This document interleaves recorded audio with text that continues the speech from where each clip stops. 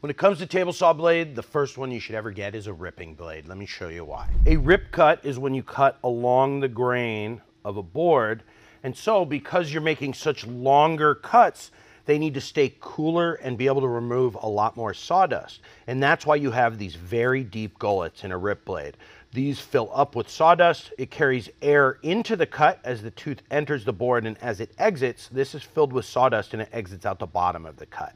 Now there's less teeth for that same reason. If you look over here, you can see these teeth have a flat top and a steep rake angle because that is a very aggressive way to remove material. It's also easier when you're cutting along the grain. These are the CMT chromium blades that we carry over in the KM Tools store. And for you guys, I'm gonna give you a discount on top of their already very steep sale price. I think these are the best blades on the market and certainly the best value when you get them from us. I'll leave that link in the bio. The discount code will be down in the description.